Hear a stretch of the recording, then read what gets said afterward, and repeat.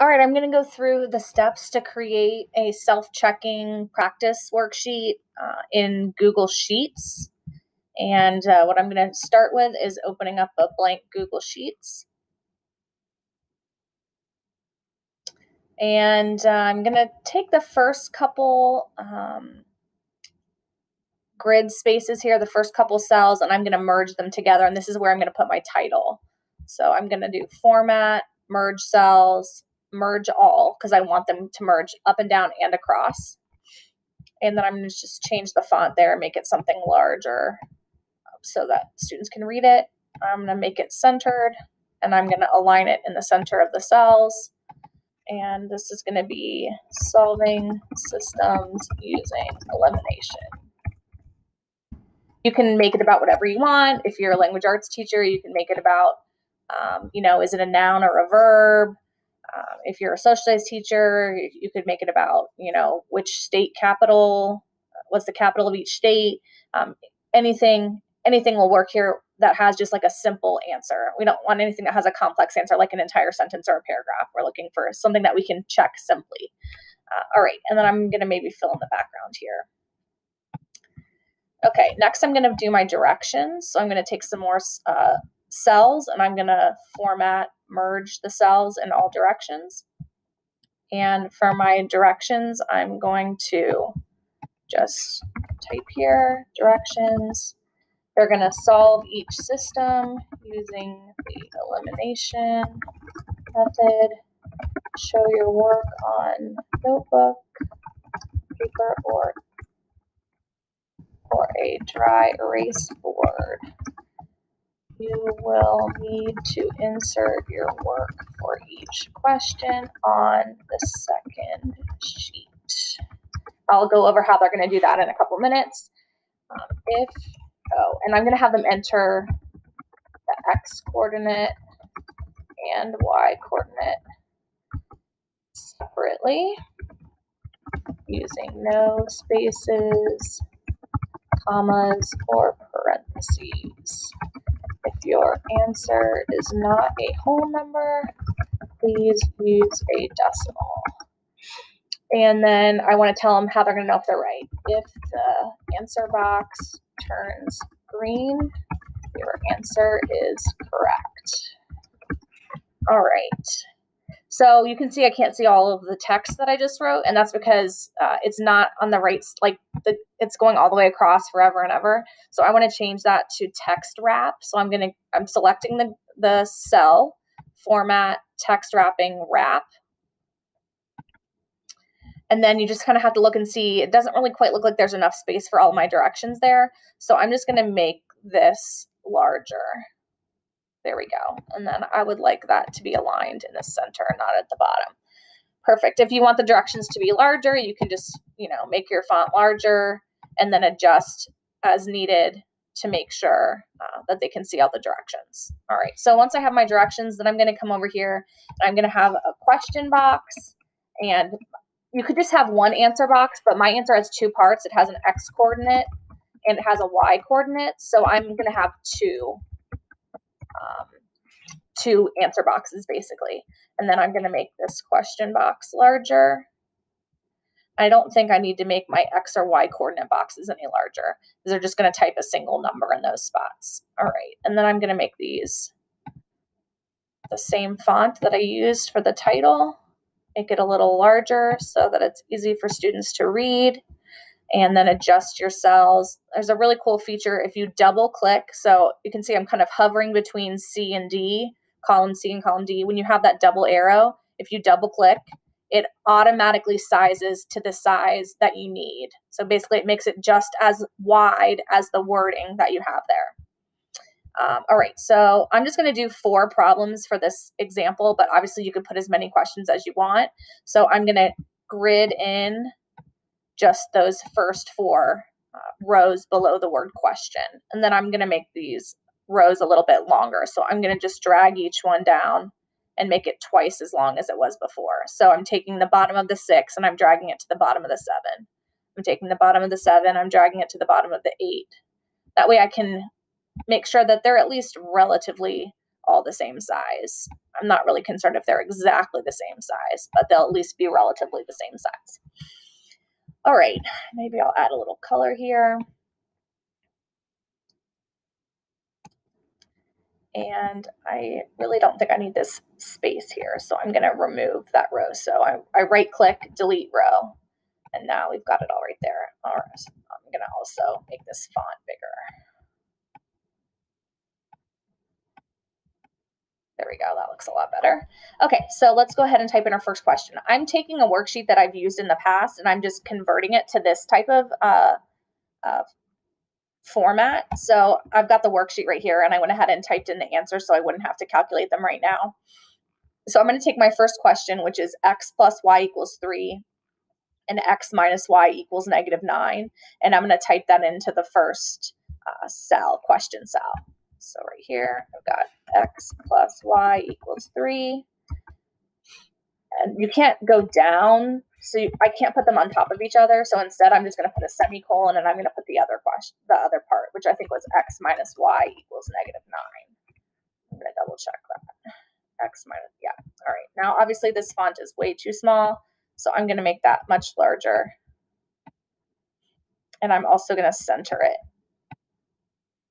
and I like it to be in the center of the cell as well. So that looks nice. All right, so that's my first one, and I'm going to go ahead and continue filling in uh, the rest there. I'm just going to pause the video and I'll uh, start it up again once I have this filled in.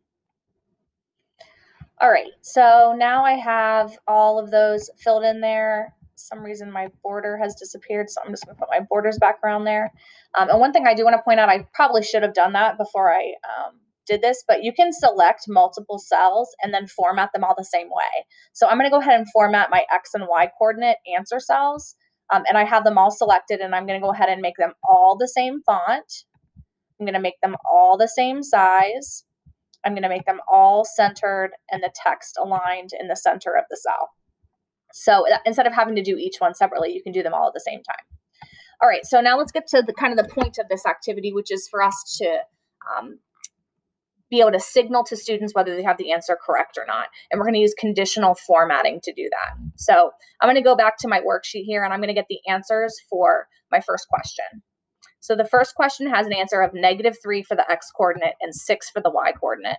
So I'm going to go ahead and right now I'm going to type in negative 3 for the x coordinate and 6 for the y coordinate. We're not going to leave that there, but I'm just going to put it there for right now. All right, I'm going to select my answer cell for the x coordinate, the negative 3 cell, and I'm going to go to Format, Conditional Formatting. Okay, it's going to apply just to this cell. Okay, and for this cell, we want to make a rule that says if this cell is equal to negative 3, the answer, then we want it to turn green because we want green means they got it right. So it's already defaulted to green, and we're going to say done. And then we have to put another rule we're still in the same cell. This is the cell. This is what it's going to ha- do if it's not negative 3. So we're going to say is not equal to negative 3. We're going to change that to be red.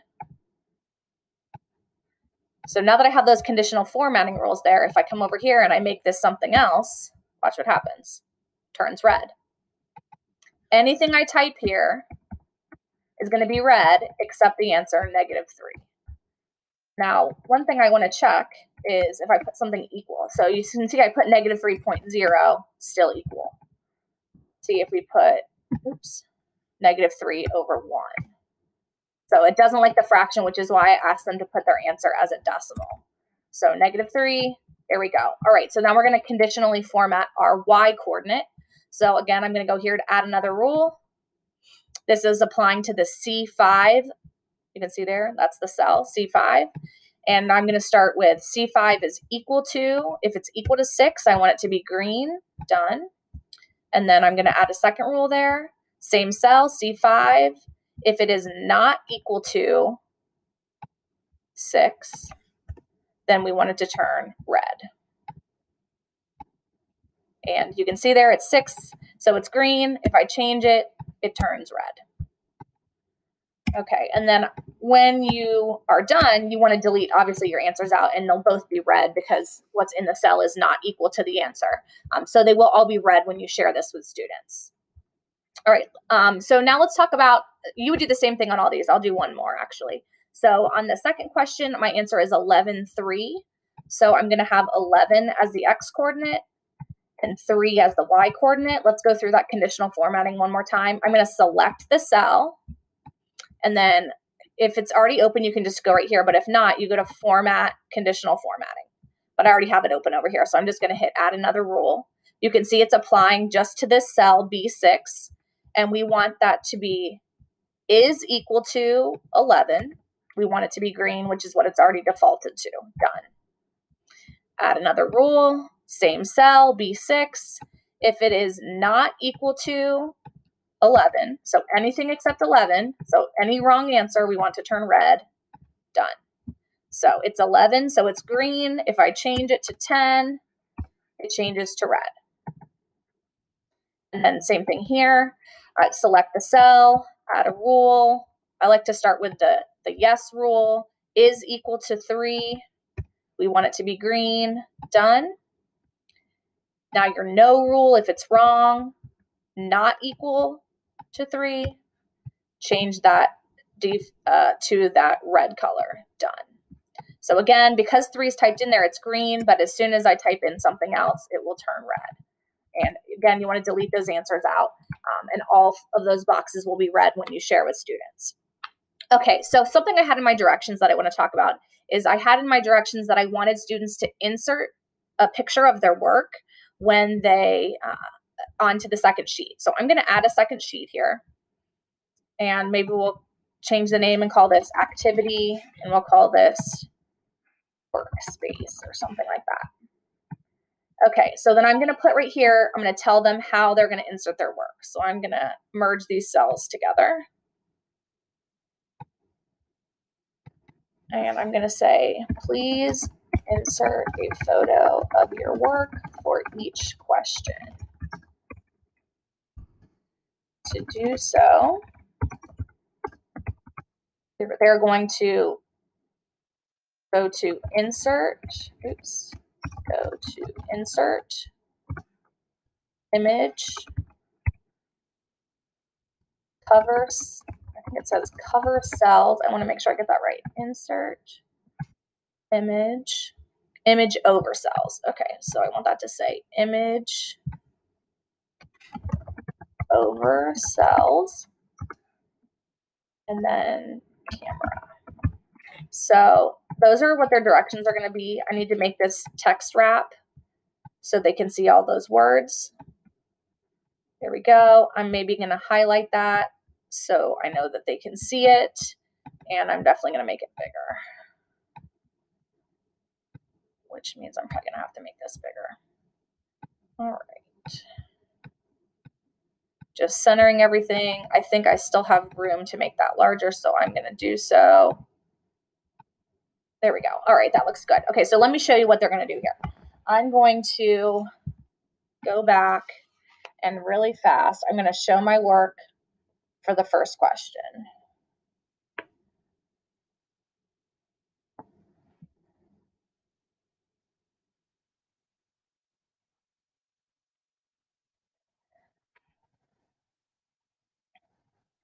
Okay, it's not great, but you'll get the point. All right.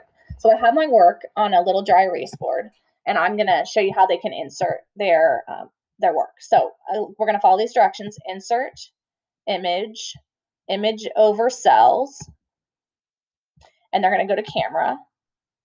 So you're going to see me, and I'm going to hold up my work. There we go. Got everything in there. And then I'm going to hit camera and once I can see, okay, I can see the whole image. That looks good. So I'm going to hit insert. There we go. So, and then maybe they might say question one or something. It would be nice if they did that, but they're not necessarily going to. And then they can just insert another one over here. So let's do question two. So I'm going to select something. We'll just pretend like my uh, dry erase board has different work on it. It doesn't, but insert image image over cells, camera. Just pretend like this says something else this time, different work, hit the camera and insert And there's my work. You can also make the photo larger or smaller. You can drag it around. You can drag it underneath each question number. You could even have the question numbers already there and then just have the students put it underneath. You could already have the question one, two, three, and four. So that's a pretty awesome little tool. Um, if your student uses um, a dry erase board and a dry erase marker, I think it's easier to read than just doing like notebook paper with a pencil or a pen. Um, this dry erase marker that I, you saw in, in the video here is from, uh, sorry, dry erase board is from Target uh, in the dollar spot. It literally cost a dollar. And I just put a sheet of white paper in it. You could also put grid paper in it, graph paper in it. Um, you can also make a dry erase board with a sheet protector. In fact, I'm pretty much planning to send my students home with a homemade dry erase board made out of sheet protectors, um, just in the case that they're uh, working from home uh, at some point. We're starting full go, uh, you know, in a couple weeks, but just in case, uh, they'll have it at home and uh, dry erase markers are usually on most kids' supply lists. I think at, at this day and age. So, so that's how they can show their work there, um, and then um, uh, they can check their answers there as well. The one thing I really like about this specifically is they could have the x coordinate right and the y coordinate wrong, and then they at least know that they're partially right, and they can hopefully go back and figure out, you know, why their other coordinate isn't correct. Um, so, if you guys have any questions, let me know. Um, you, you, can just post this in Google Classroom. Uh, that would be for a separate video if you don't know how to share it with students. But that is a self checking assignment in Google uh, Sheets. Thanks for watching.